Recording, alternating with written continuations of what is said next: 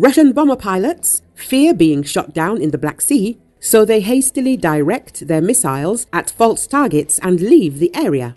The UK Ministry of Defence reported that a similar incident occurred with the Aya merchant ship, which was hit by a missile in the Black Sea on September the 11th. On that day, the ship was sailing from Odesa to Egypt, loaded with 26,000 tons of grain. It was almost certainly an Kh 22 anti ship missile launched by a Russian Tu 22M3 bomber that was operating in the area at the time, the UK Ministry of Defence said. It is likely that the absence of detonation prevented catastrophic damage. It is unlikely that the Aya vessel was the target of the strike and was probably hit due to poor targeting procedures by Russian pilots using an outdated munition, the statement said. Russia has regularly attacked targets along Ukraine's Black Sea coast, including Zmiinyi Island, in an effort to disrupt export activities and weaken any military forces in the area. According to British intelligence, after the loss of a Tu 22M3 in April, Russia has become more cautious in its strike operations in the Black Sea. It is noted that this was a joint operation of the Defense Intelligence of Ukraine with the Ukrainian Air Force. The Russian Tu 22M3 bomber was shot down at a distance of about 300 kilometers from Ukraine using the same means that had previously hit the Russian A 50 airborne early warning and control aircraft, the Defense Intelligence of Ukraine said. It is possible that this incident occurred because the pilots hastily misidentified the Aya ship as their target wanting to leave the area immediately after launching for fear of being attacked by a Ukrainian anti aircraft missile.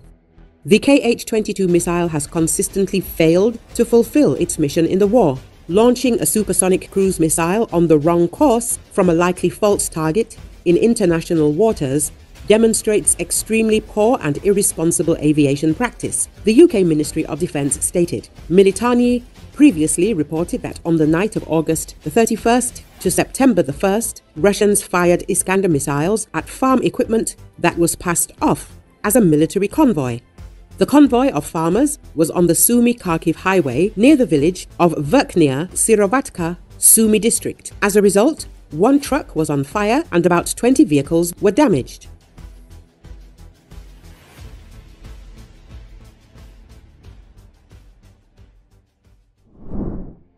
Spain's defense ministry said Thursday its first of two planes sent to Beirut to evacuate Spanish civilians had taken off and was heading to an airbase near Madrid.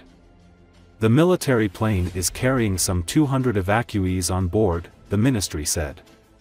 Spanish Defense Minister Margarita Robles said that between 400 and 500 of the around 1,000 Spaniards registered as living in Lebanon could be airlifted out. The government has urged all Spaniards to leave and is offering to assist those who say they want to be evacuated.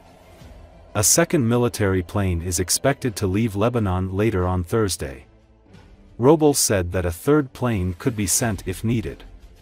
Spain also has 676 soldiers in Lebanon deployed under a United Nations peacekeeping mission.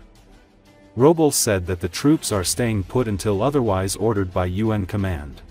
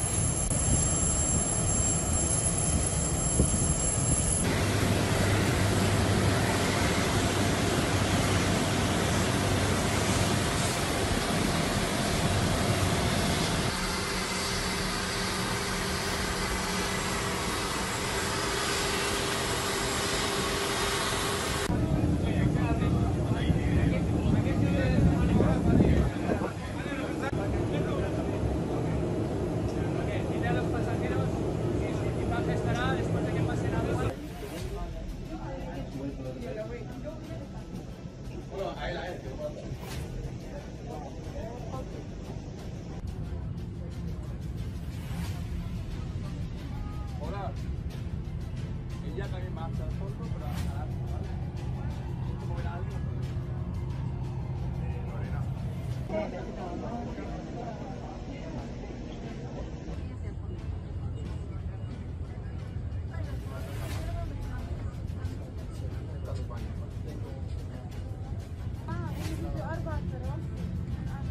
Daha ne olsun? Daha ne olsun?